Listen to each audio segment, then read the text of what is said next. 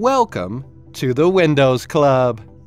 If you wish to turn on or off animation effects in Windows 11, then either read through this article on the website or simply watch this video. I will guide you through the procedure. Right-click on the Start button and select Settings. In the Settings menu, go to the Accessibility tab on the list on the left-hand side. In the right pane, select Visual Effects. In the Visual Effects window, you will find a switch associated with Animation Effects. Turn the switch on to enable the animation effects and off to disable the effects. Isn't this easy and interesting? If you have any doubts, please go to the original article on the Windows Club and write your question.